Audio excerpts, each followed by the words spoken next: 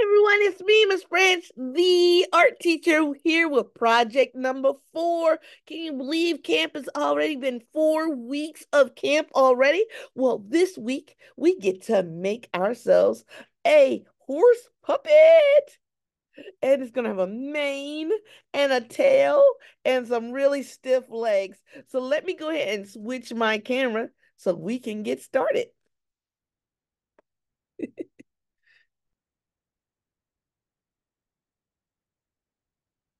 All right. So again, we get to use some more chipboard because it's so easy to use and a lot of fun. And we're going to draw two ovals and a triangle to make our uh the horse's body and the head on our chipboard. So let me go ahead and move this one out the way. And let me go over the supplies you need. You need two pipe cleaners, a bamboo skewer, I'm no, we don't need the tape. We need the hole puncher, and we need glue, and of course some wiggle eyes. Oops, wrong wiggle eyes. Those were my human wiggle eyes. Hold on. Nope, human. I think it'll look weird a horse with human eyes. All right. Nope, those aren't the same. Are they the same size? Yeah, they're the same size. All right. So wiggle eyes, bamboo skewer, this and our chipboard, and of course your pencil, but I'm going to use a marker to make sure everyone can see my lines. So the first thing I'm going to do is draw an oval for the body, a big fat oval. It doesn't have to be horse shape, unless you're like a little more art skills, you could do that. And then over here, I'm going to draw another oval for the head. It looks like I drew close there, so I'm going to just turn my paper around and put an ear shape here. And then I can just um uh, cut it out. And of course, that's the next step. We're going to cut out our ovals. So what I like to do is make it easy, just cut out big shapes. And then I can cut around the little shapes. Cut off the big parts I don't need. Make it easier for yourself put my paper, my scraps in the scrap pile. And now I'm going to follow the lines.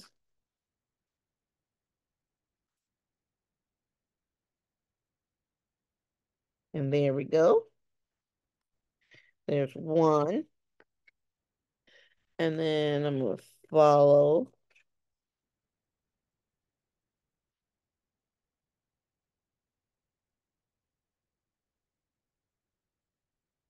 Oops. When I came off, I was on the inside of the line, which is pretty fine. Because it doesn't matter. If you want to cut off the black lines, or if you just want to draw them on both sides, just so that you have them, that's totally up to you. I'll go ahead and cut, trim a little bit more. Just so you can see how it looks. So here's my head, here's my body. So now, we're going to need two holes at the bottom for the legs. One, two. We're going to need one hole where the neck is going to go to attach to the head. And we're going to need one hole for the tail and the string to our puppet goes. Right there. So that's four holes on the body. Now for the head, we're going to need a hole back here behind the ear for the mane. We're going to need a hole here at the bottom for the neck. And we're going to need another hole here to get, oh, oh, I made that a little close. Uh-oh. I made that one mess up. So it's right there. I didn't push it in far enough. But you know what I'm going to do? I'm just going to make another hole right beside it and make sure it's a little further down and I will just cover that up with some yarn. Uh, sometimes you make mistakes and you just keep going. All right. So, first things first, I'm going to go ahead and make the legs. I'm going to take my pipe cleaner, first one, and I'm just going to fold it in half and stick it through one of the holes at the bottom. And then I'm going to go back through and wrap it around and that's going to keep the legs in. And one might be a little shorter, but it's okay. what I'm going to do, I'm going to bend it and make a little foot in this one. I'm going to bend it. And then the cool thing about pipe cleaners, if you use the back of the scissors, they cut right off. And so now my the front legs aren't on, or the back legs. No, they're going to be the front. Yeah, these are the front legs because that's the neck and that's the tail. All right, so let me do the next one. Again, fold it in half and stick it through the leg holes. And then take one in and go back through. And this is going to keep them from falling off. And again, and one's just a little bit longer. So you know what you can do after I get them through, if you want to do that before, I'm just going to make them the same size. Then bend my feet. There we go. So now my horse has legs. it's standing up. now, I'm going to make the tail and the mane for our horse. Now, to do that, we're going to need some yarn.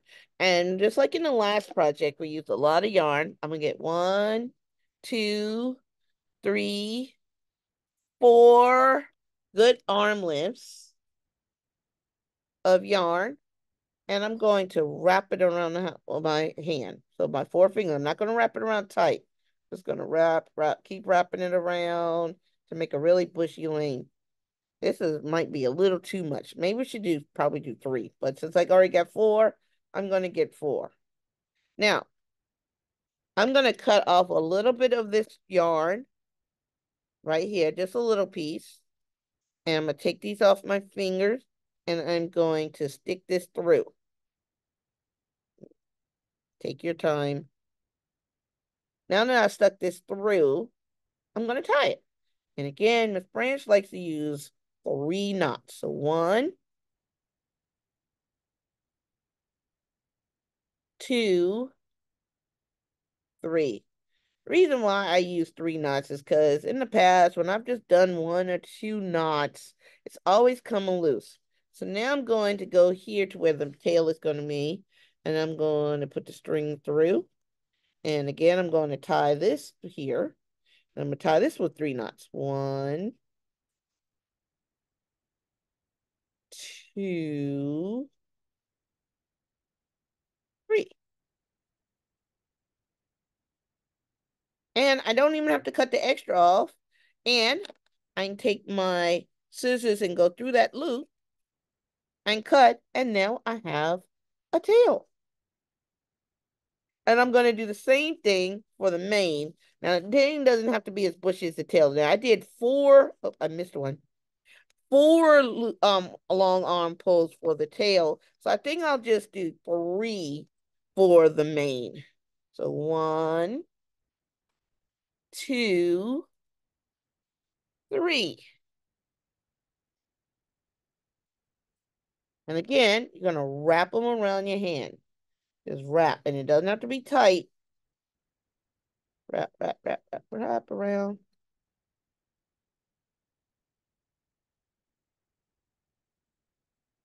Wrap around, wrap around, wrap around. And when you get almost to the end, I'm going to cut that little piece off. And why I still have it on my fingers making a loop, I'm to stick it through them. So that way it won't get caught up like I did on the on the mane. And now I'm going to tie it with my three knots. One, two, and three. It looks like one of my um, loops came loose, so I'm just going to trim it. I got to cut this loop anyway while I have the loop. I'm going to cut it this time, so it's a little easier. I have one extra long one. And again, now I'm going to send those through the um, hole at the back of the ear. So that's going to be the mane. So, of course, up, stick it through and tie. One, two, three. And again, I don't have to cut the extra off because now I have a mane. Oh, I missed another loop. I felt it when I was in there. There it is. I'm going to go ahead and snip that. And now, uh, let's see, I'm going to move my little extra out the way. I'm going to get a piece for the head and neck. I'm going to make it a little long because I'm going to tie them. And so the neck piece, I'm going to through the bottom of the head. I'm going to tie. And these pieces I probably will trim. One, two, three. And then I'm going to go ahead over here and let's see, how long do I want? I don't want it long like a giraffe. So I'm going to bring it down so I think it's a good size neck for a horse. And now I'm going to tie. One,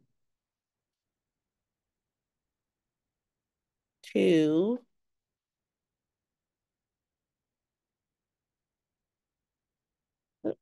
three. And then I'm going to cut this little extra piece off. And now I have my horse's head and body done. Now, and while I'm thinking about it, I'm going to go ahead and glue my wiggly eyes on. Then I'm going to cut the string that go on the skewer. All right, so let me go ahead. Ugh. And this time I'm going to try getting it on the glue stick. And put my eye. And then on the other side, I'll try and match them up. So then I have I and I. So I, oh, I stuck to my finger. I and I. There we go. So I have my eyes on. So I'm going to lay my horse to the side to let the glue start to dry. And I'm going to get the bamboo skewer. So now I need to get one, two good arm lengths.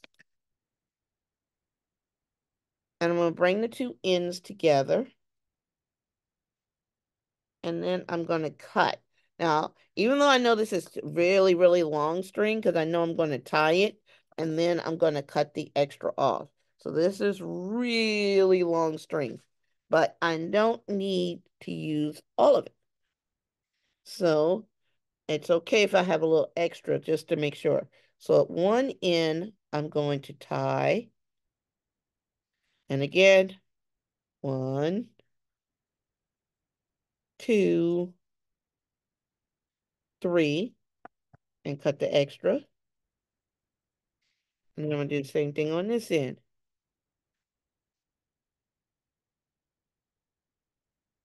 One, two, three. Now, another reason why I make the string so long is because the, the head is higher than the tail. So I don't want to always make sure I have enough string to tie them. So I'm going to slide this down. I'm going to put my yarn here. And I want to be able to stand up and hold it. I don't want to have to like bend over and um um while I'm tie while I'm moving my puppet. So I'm going to go ahead and stick it through the other hole because remember I um cut it too close, so I had to make a second hole. And I'm going to pull this one for, this is the front one, and I'm going to pull it through, but I'm not going to tie it just yet. I'm not going to tie it just yet, because I want to tie, uh-oh, I'm all tangled up in the other puppet. Uh-oh, that happens. All right, so let me slowly pull the string out and let me move the puppet further away. And now I'm going to tie this one through the hole where the um, mane is, the tail, not the mane. And I'm going to poke that through. And I'm going to go ahead and tie this one. I'm going to pull a, little bit through. Uh, again, I think I did a little bit long string. So one, two, three. And I don't have to, I can cut some of it. I don't have to cut the whole thing because it will blend right in with the mane. I mean the tail. And now I'm going to switch my camera so you can see this part. So now I'm going to hold it up and see where I need to, uh-oh, I guess it's really long. I think I need to stand up now. Oh, my pocket. There's something in my pocket. It was a napkin. Anyway, so I need to make sure oh, that I can get the head up. And so what I need to do, you might need to get a partner and help you with this part. So then then I have the head. I need to pull the string through a little bit more and so that the head will stay up. As you can see, I now have to pull and pull some more. Oh, there we go. I have the tail up. I'm wrapping the extra um, string around so my tail will be up. I don't want to cut it just yet. All right, so now, now I have it up. Now I can tie it. Now I know where to tie it. So now I can come back and I'm going to switch cameras again.